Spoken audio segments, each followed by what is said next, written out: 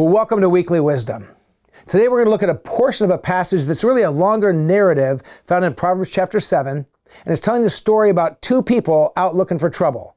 A young guy looking for a woman to get involved with, and a woman looking for a guy to get involved with. And they're both in the wrong place with the wrong attitudes. And, and, and, and what happens is in the passage, we're going to pick this up in verse 19, we're going to learn this lesson. There's no secrets with God. We may think we can cover our tracks and cover our sin, but God always sees. Listen to these words from Proverbs chapter 7, beginning in verse 19. This man who's looking for trouble has found the woman that he's going to get involved with and, and, and immorally engage with her. And so they're talking, and she assures him they're not going to get caught. Here's what she says, verse 19, Proverbs 7. She says, My husband's not at home. He's gone on a long journey.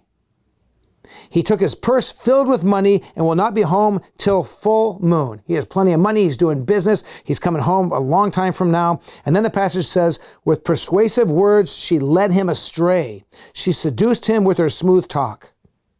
All at once, he followed her, like an ox going to the slaughter, like a deer stepping into a noose, till an arrow pierces his liver, like a bird darting into a snare, little knowing it will cost him his life. See, we think we can get away with stuff. We think no one will know. I think of in, I think of in 1 Samuel chapter 11, where David, who's king, takes this woman who lives near him. She's actually the wife of one of his command, military commanders who's off in the battlefields. He brings her up to his room. He takes her physically. He takes her sexually. And then he does all he can to cover his tracks. But what he's forgotten is that he knows what he's done. And she knows what he's done.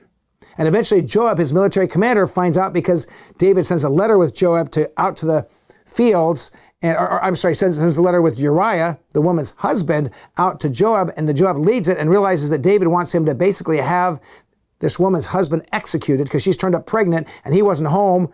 The husband wasn't there when she got pregnant, and they're going to figure out it was David.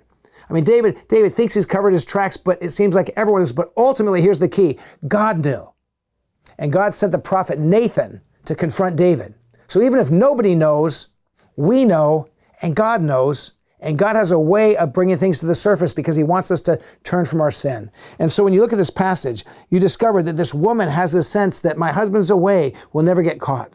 But here's the message for today there's no covering our tracks when it comes to sin because we know and God knows. And almost always, eventually, other people find out. So here's the encouragement don't just cover your tracks.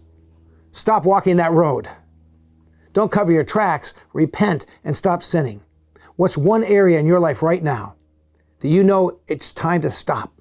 It's time to turn away from that. Let this be the moment that the Spirit of God reminds you that there's a cost involved every time we walk down that road. And so turn and repent and follow Jesus. Lord Jesus, this is our prayer. We can oftentimes think that we've gotten away with things. We can oftentimes think that if I do this again and again, it's not going to cost something.